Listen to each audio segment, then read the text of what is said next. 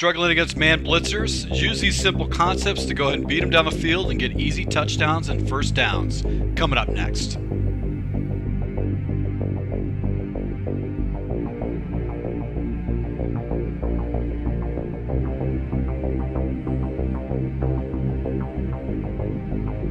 Hey, this is Full Game Prometheus, the only YouTuber that gives you full games of all the tips and schemes I post on my channel. I'll show you the good, the bad, and the ugly. Alright, so guys, if new to my channel, make sure you hit the subscribe button, also that notification icon, so you can never miss an upload. Recently, I had a comment that was sent to me from one of my subscribers, and he basically said, "Are there any particular plays or concepts that you can use against anybody that's a lot of heavy man blitzing?" Um, and I, I, typically don't run into a lot of people do a lot of heavy man blitzing with me, but um, it, it, can be it can be very annoying. It actually can actually force you uh, to do a turnover on downs or, or get yourself in a, in a fourth and long type of situation. So heavy man blitzing, if it's sprinkled into your defensive scheme, can be very effective if it's sprinkled in. But if you run into somebody that spams heavy man blitzing, you can actually attack them for one play touchdowns and get opportunities to go and beat them for some big big opportunities. So what we're going to take a look at is going to be looking at concepts and in the medium passes, you're going to find a concept that you can pretty much find in every single playbook, which is going to be double moves. Double moves is going to have concepts that are going to go ahead and beat anybody that runs a lot of heavy, uh, like, like a lot of heavy man blitzing. In particular, Sluggo. So if you can see Sluggo seam, uh, the Sluggo route is consistent with the following route off to the right, where the guy breaks in on a slant and then comes up on an angle that is going to be a route that's going to beat most heavy man blitzing. So you can see the slant goes. You get double sluggos on both sides. That's a very good play to go and jump into. Um, you've got a comeback and go, which is play action boots shot. Um, sluggo seam. So we're going to go ahead and use sluggo. We're going to use a sluggo uh, seam off the left because this is going to provide us a couple different concepts that we can take a look at. So sluggo seam out of the gun Y trio offset weak. And once again, I'm going to be using random man blitzes, so I really don't know what the CPU is going to come out of. So uh, one of the key things too is that if you got a guy that is blitzing six or seven people, probably six people, block six or seven. Make sure you match up your blocking. So you can always, if he's doing a lot of heavy man blitzing, you can get away with with this. Now, uh, really going to kind of determine who we're going to go to, whether it's press or if it's going to be uh, basically a uh, off coverage.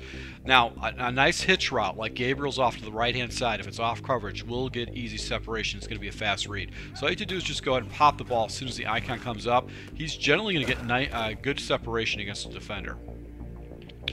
So once again, that's going to be easy off coverage. Just pop it. Uh, that's going to be easy completion. So um, the other play is going to be on the back end side, which is going to be Robinson. We'll see if the actual other defender comes up. But so right here, I want to show you how Sluggo always gets separation against the, the best defenders. Now, I do want you to, to, to remember that uh, I'm actually going against Madden Elite uh, with Bears wide receivers. So Bears wide receivers are really not bad, uh, but they're also going against the best defenders in the game.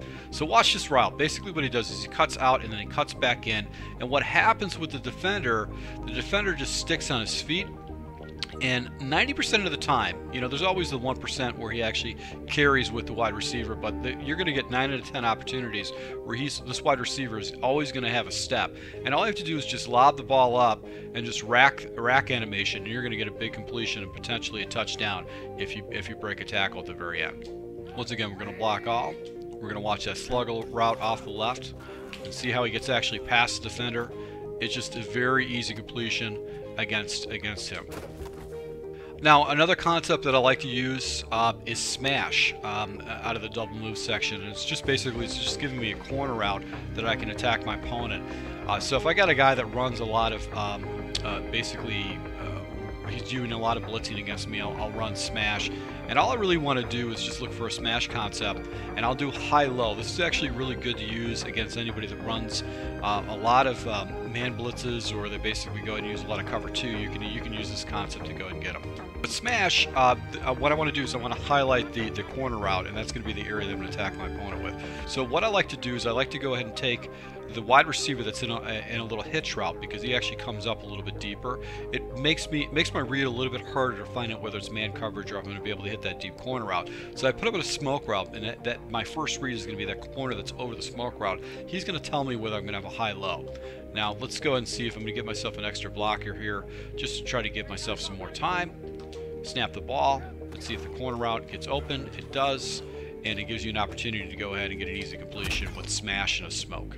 So conceptually, what I like to do is I like to smoke route this guy because then it's going to give me a tell whether this guy's playing in a cloud flat and I have to worry about it, whether he's going to fall into this deep corner route. And if it's man coverage, he's going to come down and play the smoke route, leaving this corner route wide open for an easy completion where I just pass lead it to the outside and just try to get to the RAC or an catch, uh, aggressive catch uh, to the sideline. Mesh is another good concept to go ahead and use against your opponent if he's using a lot of heavy man blitzes.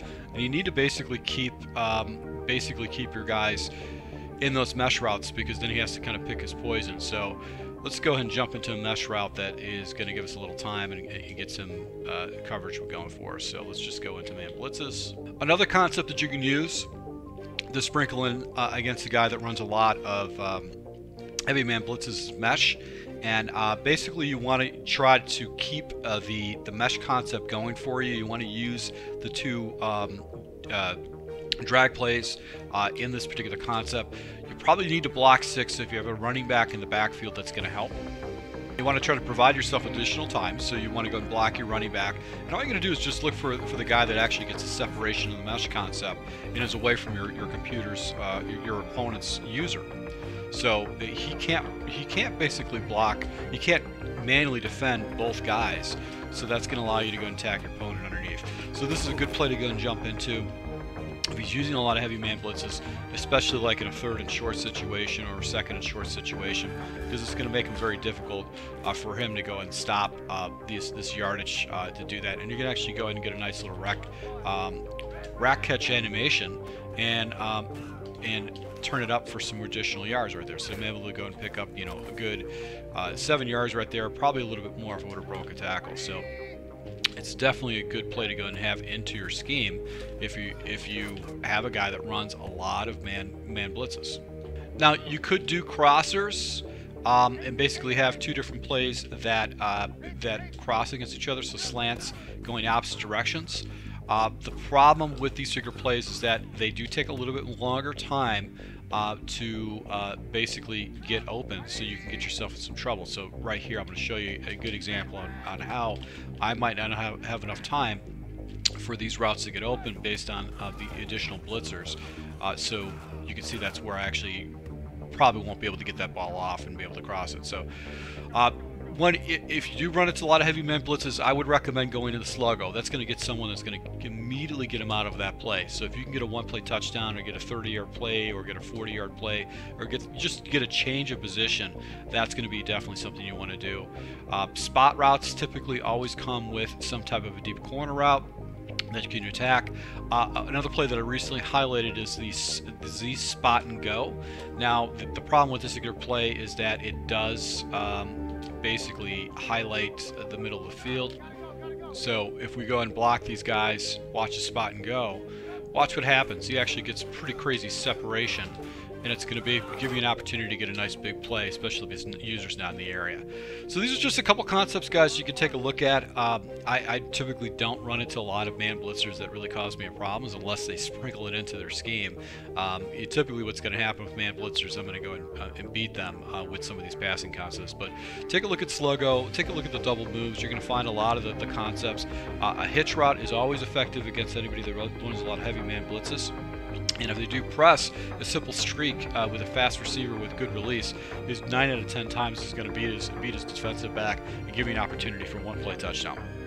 So if you do like these tips, guys, make sure you hit the like button. And once again, to my subscribers, thank you for your support. And until next time.